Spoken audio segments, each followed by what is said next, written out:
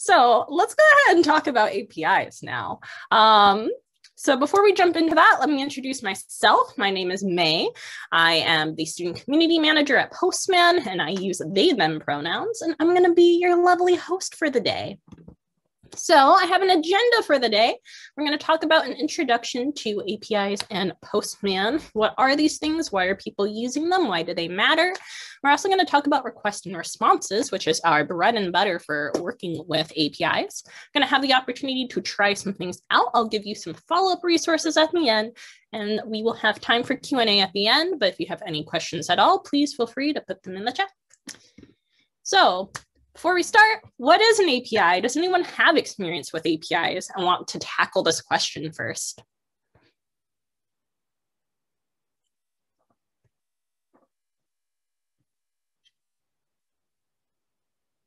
Yo, Andrew's got it, application programming interface. So that is what it stands for. Um, as Andrew said, application programming interface.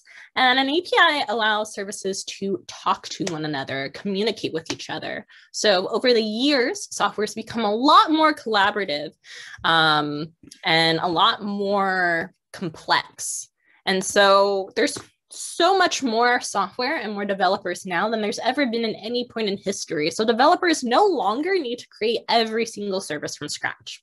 This is where APIs come in because APIs allow developers to access data from a service or a platform, kind of like Google or Twitter, without having any knowledge of how the code base has been implemented. So if I want to get tweets from Twitter using the Twitter API, I don't need to know how Twitter was created. I don't need to know how this API was created. It doesn't matter what language I'm using because this is just giving me raw access to data. So let's talk about APIs in a more high level overview. If I am in a restaurant um, and I'm looking at the menu, deciding what it is I'm going to order, once I've decided what I'm going to order, I can't just waltz on to the back of the kitchen and make my demands. No, I have to talk to somebody. I either have to talk to the person at the front or I need to place an order with the waiter. So I decide what I want. I place my order and the waiter will go send that to the kitchen. Once the kitchen has my food, the waiter's going to come back with it and bring it to me. Or if they were out of that that day, the waiter's going to come back and say, actually, we don't have that today. Can you please order something else? So when working with an API, this is on a base level really how it's working. Um, somebody is going to be making requests to a server But those requests are going to go to an API. The API is going to just work as the communicator, going to work back and forth between you and the server to bring you data, but also bring requests for data to the server as well. Similarly, the API also is kind of a first line of defense. And if you think about waiters at a restaurant, they're also kind of a first line of defense, right? If I am ordering alcohol, for example, I need to show my ID before the waiter can even place that order. And so the waiter is really acting as that first line of defense. In some restaurants, you need to pay first before you can actually get your order made. Um, so that's another kind of line of security that your API would be able to handle as well. So that's a very high level overview. Um, sorry, right before this workshop, my nose started bleeding. I am still feeling the effects of it, which is why my camera is not on. um, so if you hear me coughing, that's why.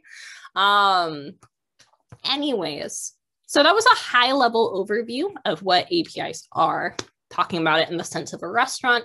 Let's talk about it in a more technical sense now.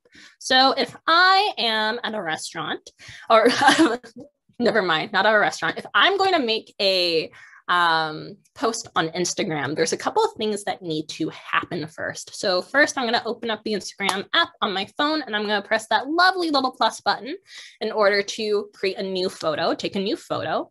Um, the Instagram app is actually going to open the camera app on my phone and just overlay itself on top. So I take the photo, the camera app on my phone is going to take that photo and send it back to Instagram. This is why when you take photos on Instagram, um, you'll end up with a lower resolution copy of it in your camera roll. because the camera app on your phone is also just taking the photo.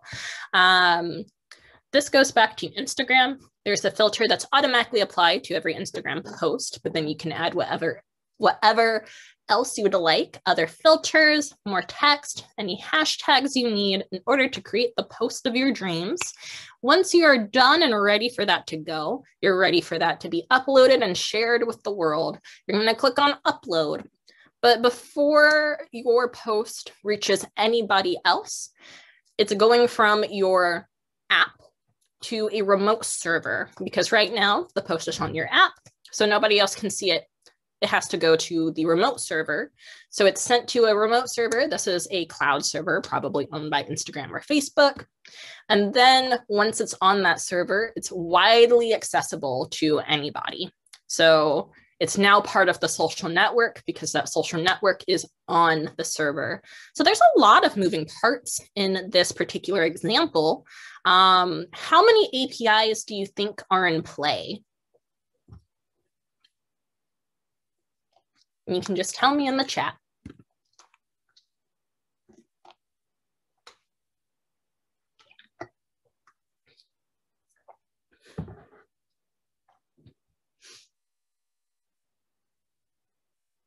A lot.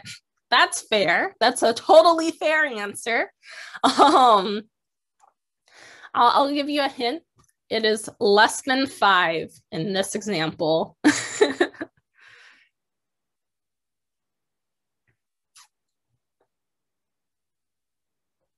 three. It's three actually. Um, can you take a guess at which things have their own API? I know Alex said that the Instagram has the Instagram app has an API, which is true. Um, what are the other APIs that we are using in this example? The camera app. Yes, that's definitely one. So we have the Instagram API, which is the software API um, that's making request and also accepting data from uh, your camera. Um, the camera app has its own hardware API, so that allows it to be opened by other apps and take photos and send those around. Um, and then the remote server itself actually has an API. So, like I said, the posts that you take on your app uh, before they're uploaded, they just exist on your app. So nobody else can see them because it's just existing on your phone in that moment.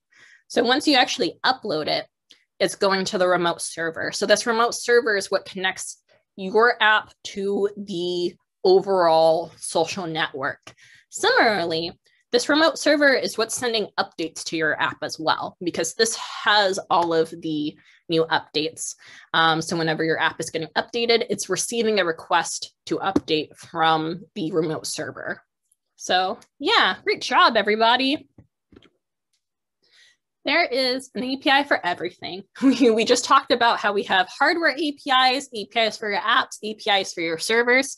There really is an API for everything. And I really do mean that.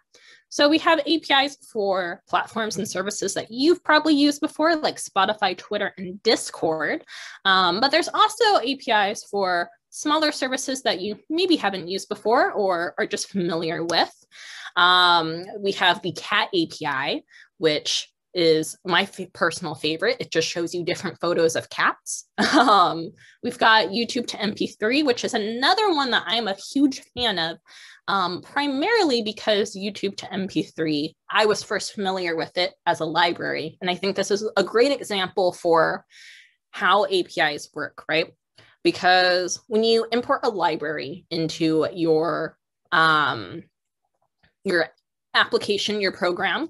Um, it's specific to that language that you're working out of, but it does a lot of the heavy lifting for you. For example, hashing libraries. There's some things that you shouldn't create completely from scratch on your own.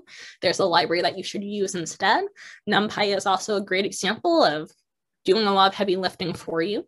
And so I know that I personally have had a lot of times when I was writing in Python thinking NumPy would be great if it existed in other languages as well. That is the drawback of a library. It is connected just to that language that it's built in.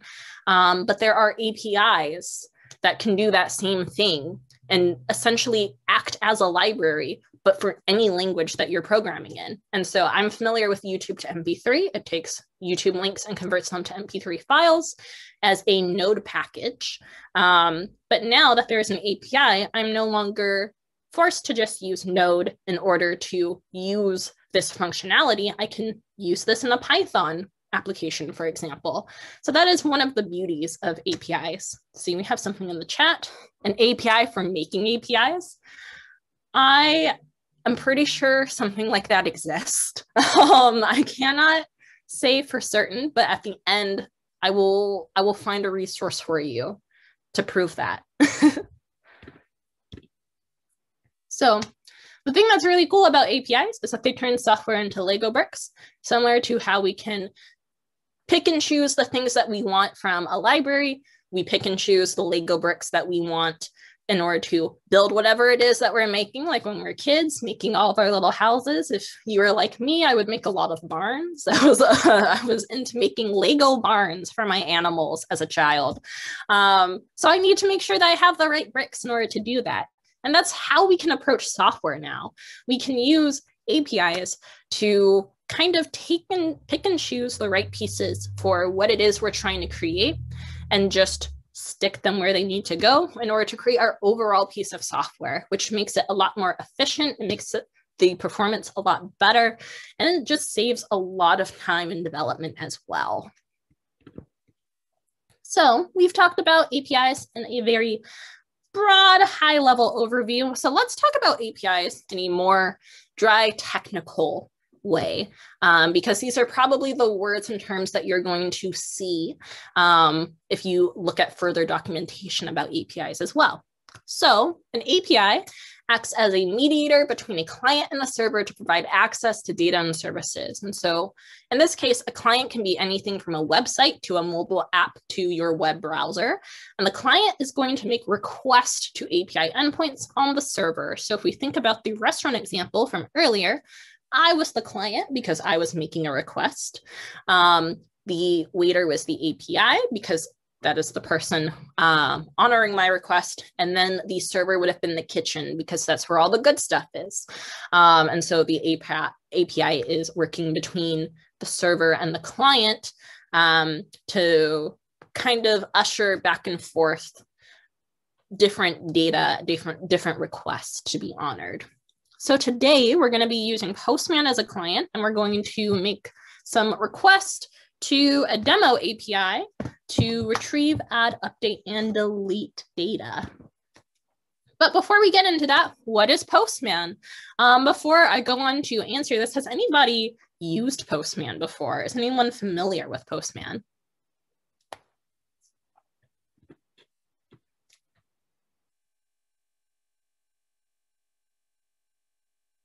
API testing. Okay. So Akash is familiar. That's great. Um, yeah, so Postman is a collaborative platform for API development, really for testing, developing, and using um, APIs. And it really um, simplifies the process by wrapping it all nicely in a little UI. Okay, Joy has also used it before for testing. Wonderful. Um, I'm so happy to see this. So when I had started, before I worked at Postman, I had been familiar with Postman when it was just a humble little Google app um, when Google apps were still a thing, or like Chrome apps were still a thing. Um, and I was using it to test my APIs as well. Um, now I can see all the wonderful things that you can do with it. So, back in the old days of working with APIs, we used a command line tool called curl. And so command lines are wonderful, they're so powerful. However, there's some drawbacks editing something can just be a huge pain um, because everything is in black and white and huge blocks of text. It can be really hard to parse through all of the data that you get in your output response as well. And so there's a lot of limitations with curl, especially as your um, requests start getting bigger and more complicated. And so Postman came along and really simplified this process by taking everything, every functionality of curl and putting it into a UI so that it was easier for humans to actually do the things that they want to do, make more sophisticated and complicated requests, and added some more developer tools in as well to really help out developers who are testing their APIs. Let's see, we have something, a question, which for some reason is not loading. I am so sorry. I will get to your question. Um, I will just have to get to it towards the end of the workshop, or you can ask it again in the chat. How can I, being a beginner, use this for my project at this hackathon? Well, we're actually going to be going over that today um, because we're going to have the opportunity to work with Postman and try some things out. And we're going to be working with a demo API. So you're going to be learning about APIs and you'll get the opportunity to work with Postman as well. And hopefully they'll give you some ideas for your hackathon projects. So Let's talk about request and responses. This is the bread and butter of working with APIs. So a request is how we interact with the API, and it has three main ingredients to it. We have method, which is essentially your action is what you're trying to get out of this interaction. Um, it is your goal for this interaction. We have the address or endpoint. This is the URL. This is where you're going to be sending your request. And then we have the path, and the path is kind of specifying. Um, think of it as like a subfolder, right? Trying to find the right place to actually put your request, send this data, who is going to be the right department to talk to for getting this request honored. So we're going to talk about all of these things in more detail now. So first up, we have HTTP methods, which specifies what we want from the API. So there are a lot of methods, but I'm only going to focus on these four because honestly, these are the only four that you need to know in order to get started with any API. So we have get, which is how we retrieve information. So if I'm going to use the Twitter API, for example, and I want to get tweets, I would make a get request. Post, which is how we send information. If I wanted to make a tweet programmatically with the API, I would send a post request. Put, which is how we update information. If I wanted to update my profile, for example, I would make a put request to do that and delete, which is how we delete information. So if I wanted to delete my tweet, I would send a delete request. Next up, we have endpoints and paths. So this is where our interaction with the API takes place. And so an endpoint is really just a channel of communication for the API. And this is typically a URL. The endpoint you can think of as an address. Um, the path is a destination on the endpoint where your request can be heard and executed. So if we think about this in more um, broader terms, sending a request to an API is kind of like sending a piece of mail. The endpoint would be the address that you would put on that piece of mail. Um, but let's say that I'm sending a piece of mail to my friend who lives in an apartment complex. Well, I need to make sure that I put her unit number down because otherwise it'll just go to the general building.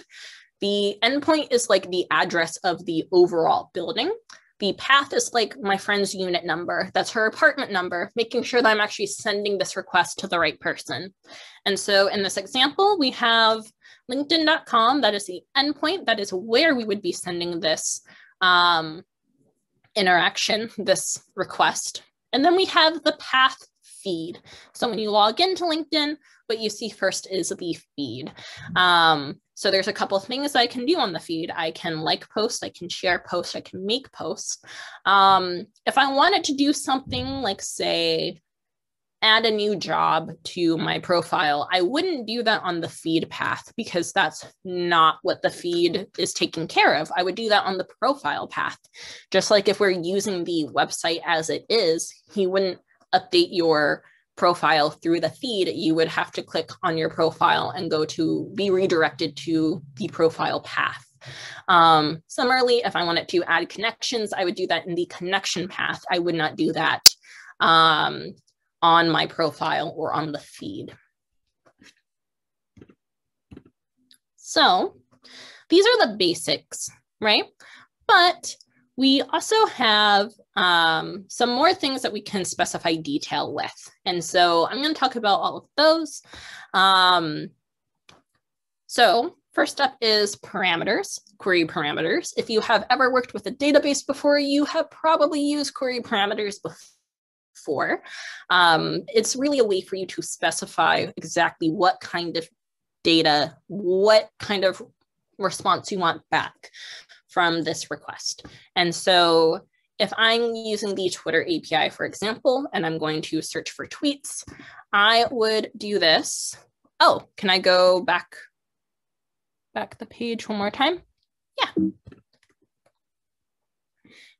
You just want me to stay on the endpoints and paths page. Who gets to post or delete? Is this something that gets regulated by the API? That is a wonderful question. So, yes, this is regulated by the API. Um, actually, what I was going to talk about next after um, the um, uh, path parameters was authorization. And so we're actually going to cover exactly that. So are we, are we good to move forward? Um, I know someone wanted me to move back. Uh, Rosie, are we good to move forward? Awesome. And I will also be giving you the link to the slides at the end. So you will be able to go back and refer to anything. So if you feel like you need to take notes, don't worry, you will have these slides. So um, if I continue talking about query parameters, if I am going to make a uh, request for tweets, for example, on um, Twitter. I'm going to search for tweets, right? They have a search method, they have a search uh, path that I can look for a tweet. So I can't just go on search. I need to specify what it is that I'm searching for. So let's say I want cat tweets. Um, cats would be my query parameter that's specifying what I want. Um, but there's some other things I can do too, because there's a lot of tweets about cats on Twitter. So if I want to get more specifically tweets that are about um, cats, but I only want tweets about cats from today, I can specify that all of these tweets have to be from today. I can specify that I only want to see 10 tweets at a time. I don't want all of them because again, that's a lot of tweets. So query parameters allow us to get as specific as possible, get very granular with our request to get exactly what we want. Then next up is auth. So auth is a really big topic, so big, in fact, we have an hour and a half workshop dedicated alone to this topic. Um, so I'm only going to be talking about it a bit briefly. Um, but this will answer the question of who gets to post and delete because this is something that the API regulates. I mentioned earlier that the API um, is your first line of defense and security, just like how if I'm at a restaurant and I'm ordering alcohol, the waiter is going to check my ID first to make sure that I can actually order it. Um, that's kind of what the API is going to do too. The API is going to require you to have a certain set of auth credentials for certain kinds of requests. So in general, an API key is needed for most kinds of request, typically request just to get data that you can already publicly access. Um, the reason that we have API keys is to protect both your programs and to protect the API itself. If somebody is, say, abusing the platform, um, their API key is giving them access to use this API. The developers of said API can revoke that key if you violate the terms of service. Um, Similarly, if your key gets taken for some reason um, or stolen and somebody is hijacking your own um, um, program, you can revoke access to that key so that no one can use it anymore. So that is like our first level, that's authentication. Then we have authorization, which is making sure that you're actually allowed to do the thing that you're trying to do. So if I want to send a tweet, for example, through my account that's a post request, I need to make sure that I have a certain set of credentials. These are called OAuth credentials. Um, and it has a lot of different things, a lot of different details from tokens to access IDs to client secrets, all of these kinds of things. So I would send all of that information to the API so that API can verify that I actually have the rights to send tweets through the account that I'm trying to send them through. So that's what authorization takes care of. The same thing goes for deleting. If I'm going to delete something from my personal account, I need to make sure that I am authorized to do that. So this also ties into the next thing I want to talk about, which is how we send data. So the API is the one that is concerned with authorization details. The server is not concerned with your authorization details. So we want to make sure that we're not sending these details to the server. That's why we send them in the header of our request. The header is for metadata. So anything that is going to be sent to the API itself, um, you would send that through the header, such as your auth details. If I'm trying to send a tweet, for example, my auth details are going to be in the header of my request. The actual tweet that I want to send is going to be in the body of my request because the body is how we send data to the server. So that is request. But when we make a request, we're not just calling out into the void because the void is calling back to us. We get a response.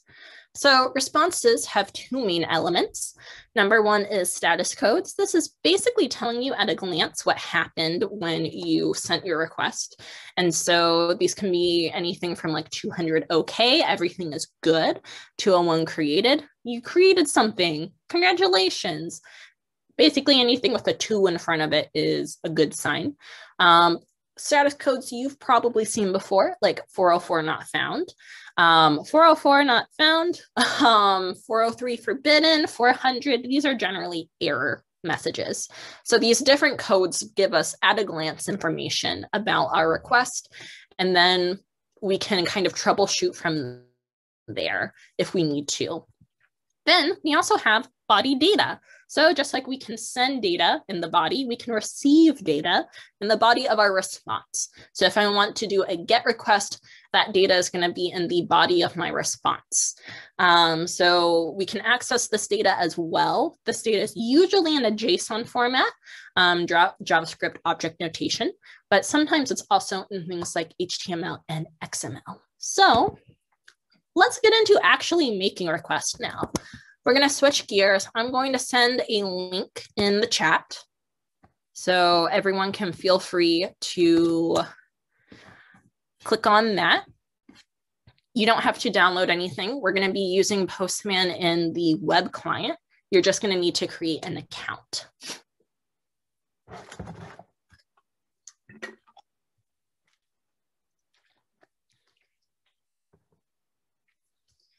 So if y'all could tell me in the chat when you're ready for me to kind of keep moving forward, that'd be great. Um, normally when I do these uh, workshops, I'm with, I'm not in the webinar form, so I can see what people's cameras look like and stuff, and they'll just give me a thumbs up. Um, so if y'all could tell me in the chat, that would be super helpful.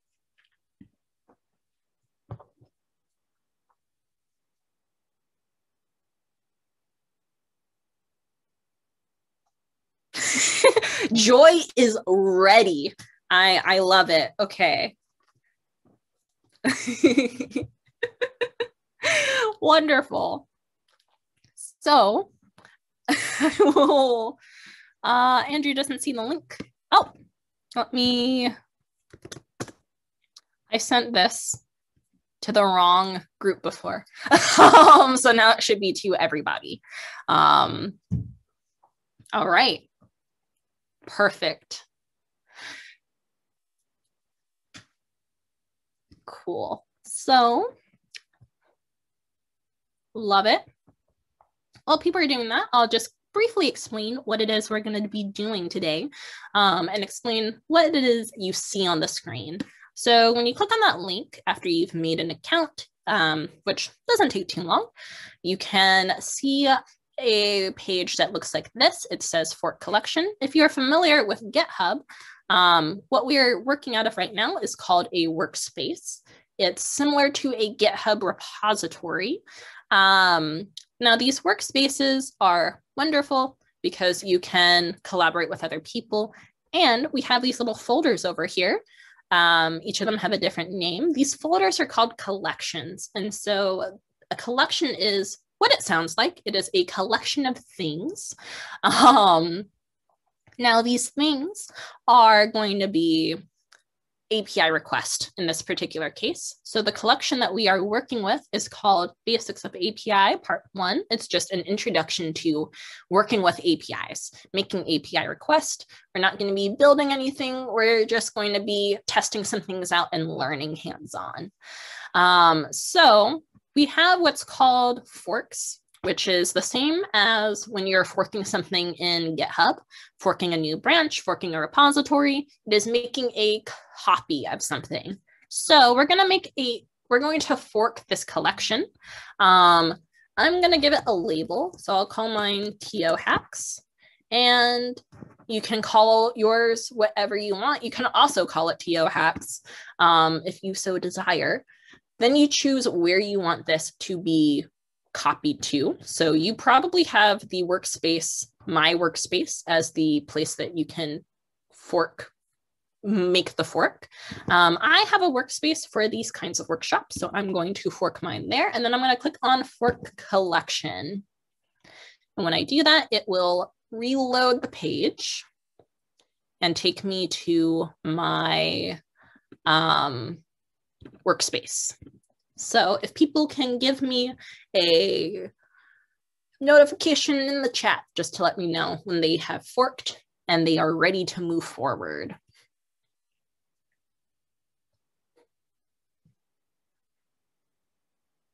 Forked, wonderful. ready, awesome. okay, perfect. So I will quickly show you something, um, but I want to talk a little bit about documentation because documentation is super, super important. If you are ever, if you have spent your time in this workshop wondering things like, okay, endpoints and paths, these sound cool and all, but how do I know what path I can do what on? Um, the documentation is how you're going to learn that. So this particular API that we're going to be using, we actually have a couple of different options to use it. Um, there's a couple of different APIs within this endpoint link. And so we can work out of the quote API is how you add new quotes, the joke API for adding new jokes, and the book API for adding new books. Um, and so I'll let y'all decide which API should we use today.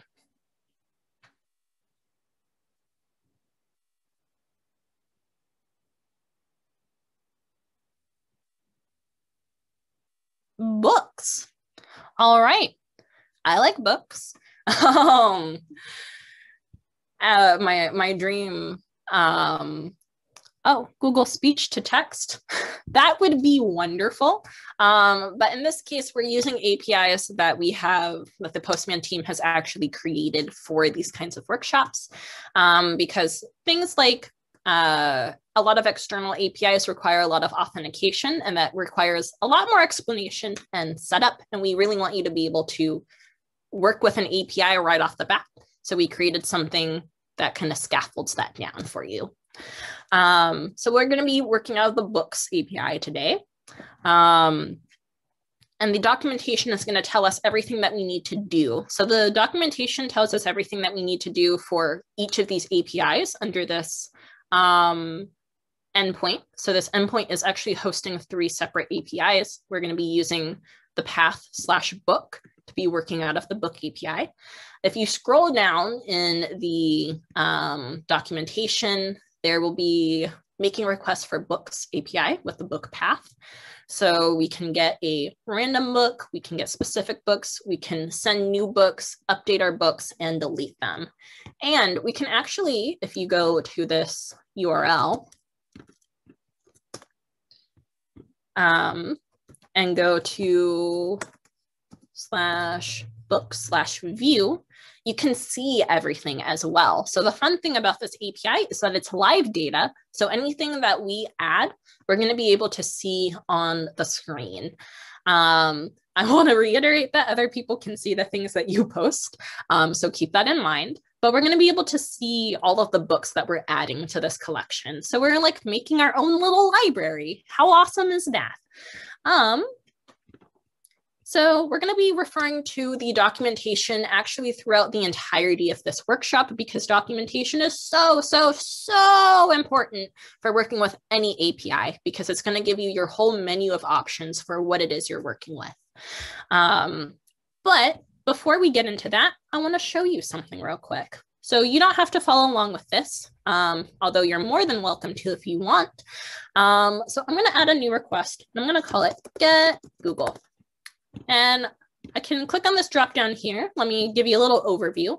Um, this is the request pane. So this is where I'm going to be making all of my requests.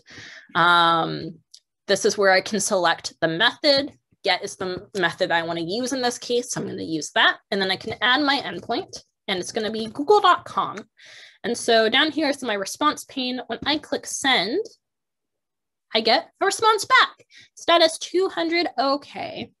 And so I'm looking through and I get HTML back. So that is the response that I got from doing this GET request. Um, it's nicely formatted because we're under the pretty view right now. If I click on raw, everything will be in one string, which isn't super helpful when we're looking at HTML. But if I click on preview, it will show me a rendered version of that HTML. So I see a rendered version of the Google website.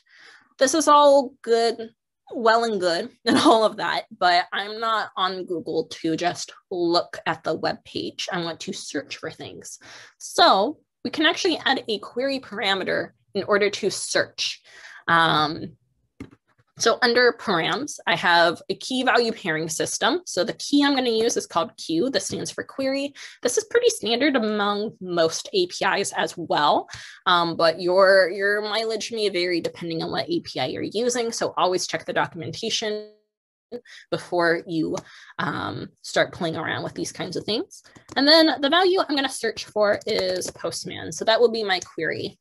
And notice that when I type this in this little params section, it builds out the request up top in the request URL.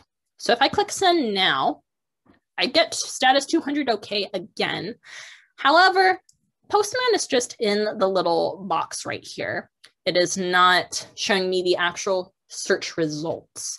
Does anyone have a guess for why that is? And you can feel free to put that in the chat.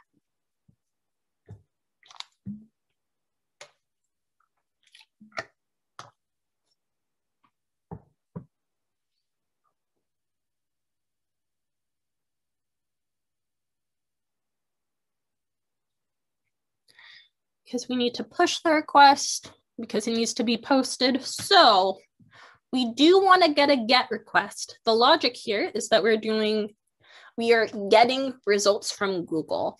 Um, so we are not sending new information, we're just requesting existing information that Google can, that Google can search for. Um, but there's something missing in this request. Um, it's not necessarily an action that we need to do. It's something that we left out in the uh, request URL.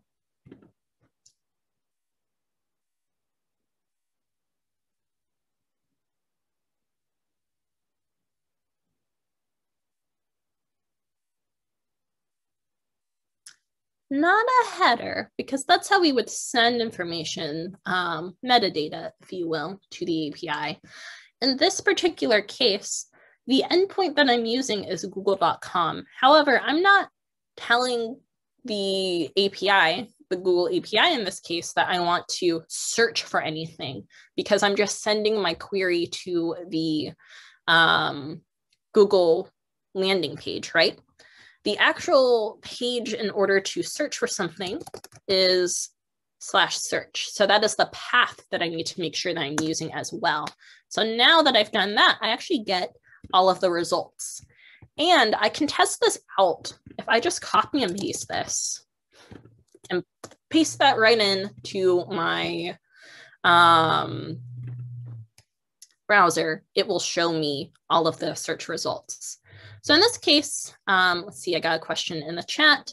So you missed the endpoint. It wasn't the endpoint that I missed because the endpoint was google.com. That is the place that I am generally sending my uh, request to. It's the path, the path that I needed in order to be heard, essentially. It's like if I'm at the, if I'm trying to go to send my bill to my dentist office, but that dentist is based out of a business park and there's an optometrist and there's a law firm and there's all these other businesses. The path that's like making sure that i'm sending my bill uh, my payment from my bill specifically to my dentist and not to anybody else in the building. And so search is where we, the path that we want to make sure we're sending this request to in order to get exactly what we want so I like to bring this up in every workshop that I do um, because I want people to see how we actually work with APIs every day already. And for the most part, we're not aware of it. Um, even doing a GET request, for example, that just brought me back HTML, right? And so when I previewed it, I could see a rendered version. That's the same thing as just going to google.com in my browser because my browser is actually doing a GET request anytime you go on any website, you're actually using APIs. You're making a GET request to that website to bring back the HTML. So this is a really cool example of how we work with APIs every day. Um, I like to bring it up because we often think of platforms like Google and Twitter as these huge monoliths, but in reality, we're just working with these things every day. And in this workshop, we're learning the building blocks to make something similar. So I think that's super powerful. And I love to share that with everyone. Anyways, that is enough lecturing. Let's create a library. Um, so I'm going to go back to the documentation and I would ask for you to do that as well because you need to copy this endpoint. And we're going to get, to, we're going to go to this request that's already in the collection that says get data. And I'm going to add the URL there. And we're working out of the books API. So it's slash book is the path. And this should just give us a random book. And it does. So we notice the difference um, when we're looking at the view. Um, this is showing us what everything is rendered as. When we are looking in this version, um, we are seeing the HTML. And so it's not rendered all nicely into a little card, but uh, not the HTML, the JSON for it. Um, but this JSON is super important because this is the data structure that we're going to be using. So we're going to be uh, using, if you've never worked with JSON before, it is JavaScript object notation. So everything is between two brackets. Um, everything between these two brackets is an object. Everything on the left-hand side of these colons is the key. Um, all of the keys will also be color code coded to be like this rust color. Um, everything on the right-hand side is a value. So the keys are things that must be there. Um, you can think of it as the syntax for this data, how it must be presented. Um, everything on the right-hand side is a value. So this is information that we're going to input ourselves. So everything has an ID which is the ID of that object itself. It has an author, a name, a book name, and then a link to that book. So just like the Google search for that book. If I click send again, I should get there we go. um, it is random. However, randomness also means sometimes you're going to get the same thing over and over. Um, I should get a random book when I click send. So now I have the Harry Potter books. Um, now we have um, a book about Steve Jobs. So all of these random books I'm able to get.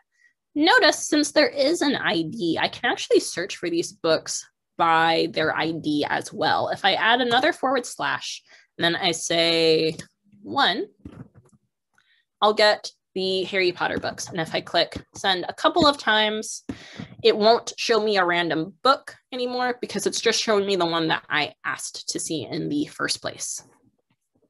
So that's how we get data. Now it's time for us to send some data now that we understand how the data works a little bit better. So go ahead and add a new request. Click on those three dots at the top of your collection folder and click add request. Send book. That's what I'm going to call it. And then we're using the same endpoint and path. So it's just the postmanstudent.heroku.com slash book. And then out of these options up here, which method am I going to use to um, send a request? Or like to send data to the server. Post, perfect. We're going to do a post request. All right, and now I'm going to go ahead and save this. So go ahead and save that. And let's go back to the documentation to see what we need in order to send a post request. So if I scroll all the way down to making requests for books, this is all the way at the bottom, by the way. So you can just scroll all the way to the bottom. Let's see, post to send a new book. It's using the same um, path. And then we use the exact same structure. So we go ahead and just, you can go ahead and just copy this. There's a little copy button. So we're going to use the same structure for every book that we saw that we got. We're going to send data in this format. So go ahead and head back to your post request, send book. Where it says params, there's all of these other options too. We have authorization, headers, and then we have body. By default, body is set to none we're going to click on the little radio button that says raw because we are sending raw data. So go ahead and paste that in. I want to point out that if you were to send this right now, you would get an error.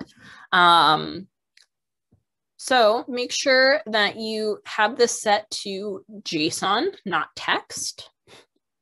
Um, if it's set to text, the all of the text will be black. If it is set to JSON, all of the text will be color coded. So that's how you know you're using the right thing. Um, your ID needs to be set to something that is not currently in the um, server. So if you look at the view, for example, we have one, two, uh, it's starting from zero. So it's zero, one, two, three. So everything from four and beyond is free game. You're going to be adding this ID yourself. Um, I'm going to choose 89. Please do not take my ID because I will be sad. Um, so try to come up with a unique ID for this. Um, let's see. I'm going to add a book by Zora Neale Hurston. It's called Mules and Men. It's a great book about folklore. Um, and I'm not going to find the link for it right now. So I'm just going to say google.com. that will be the link. And so if I go ahead and click send now, I get 201 created because I have successfully created this piece of media. And I can see all of the options down here. Everything that I put in the body of my request is in the body of my response. I can verify this by going to the book view. Oh, there's so many. Um, I love to see people adding. Um, I can see my um, book up here. I can see other people's books up here there's more books getting added. I love to see it. This is so great. Um, so yeah, Hitchhiker's Guide to the Galaxy is a wonderful book, by the way. Highly recommend it. So awesome. It looks like people have had no problem um, creating. You get 400 bad requests. Oh no. Let's see. I love how I was saying, looks like no one's had any problem creating these um, but we have an error. So if you're getting an error, I'm going to ask that you make sure that you have raw selected, um, that you have JSON selected from this dropdown, and that you have all of this information filled out, but your ID needs to be unique. Um, it doesn't matter if you choose the same book as somebody else. Um, you just need to have a unique ID. So I could add, let's see, I could add this again, but because it's a different ID, it's totally fine. And if I reload the page, I'll see it twice. Um, so go ahead and make sure that you have all of these features figured out. Um, and for the rest of us, now that we have sent something, we can also feel free to update it. So go ahead and add another request. Call it update book. I'm going to use that same combination, endpoint and path combination, and then out of these options from the dropdown, what am I going to want to use to update?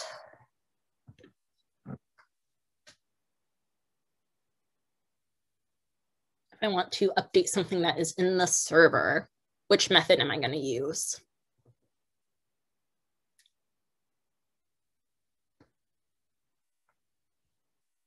Put yeah. Joy is really getting into it, and I love this. So we're gonna do a put request. Um, go ahead and save this, and then we're gonna head back to the documentation one more time. We're gonna see what we need in order to update. So in order to update something, we actually just need to have the entire object in the body of our request. Um, keep the ID the same, but you're going to update the book itself. Um, so I'm going to uh, go to, you can go ahead and copy what it was that you posted before. Um, copy exactly that. Once again, go to body, click on raw and JSON from that little dropdown, paste that in, leave the ID as is, but feel free to change everything else. So I'm going to have a book by Luisah Teish. Um, it's called Jambalaya. And now when I click send, I get 204 no content. This is actually very good. Um, it means your request was successful. There's just nothing being put into the body of your response, and that's totally okay. This is why we love to look at status codes. So I have updated it now. If I reload the page, I'll see it has been updated, Jambalaya by Luisah Teish. Um, and I see that some other people have already began updating. So that's wonderful as well. So now that we have been able to update um, our original request, what comes up must come down. But before that, let me explain something real quick. Um, when making a put request, we do actually have to have the entire object in the um, body, even if we're just changing one thing, even if I were just to change the author or the book name. Notice I didn't change the Google link. Um, we need to have the entire object in for put. There's another method called patch, but that requires your API to be built in a specific way for you to update specific parts of the object by its ID itself. Um, so that's just one little caveat that I want to mention because I know sometimes people get confused with it. But like I said, what comes up must come down. Looks like a lot of people have been able to up Cat in the Hat 2.1. Dr. Seuss 2.1. Wonderful, wonderful. Um, looks like everyone's been able to update and work with this. That's wonderful. What comes up must come down. So it's come time for us to delete our request now. So delete our books now. So delete book. Make sure that you're only deleting your book, by the way, not somebody else's book. Um, I've dealt with that before in previous workshops. Um, yeah, don't delete other people's work. Let's head back to the documentation one last time. Scroll all the way to the bottom to delete a book. it is the book path and the ID of the book that we are deleting. So I had a couple of things that I had added. So I'm just gonna delete the additional um, book that I had made. Um, notice that this whole structure, you know, endpoint, book path, ID is the same thing as getting a specific um, item. So if I click send here, I'll get 200 OK, which is what I want to get. Book with this ID is deleted. Wonderful.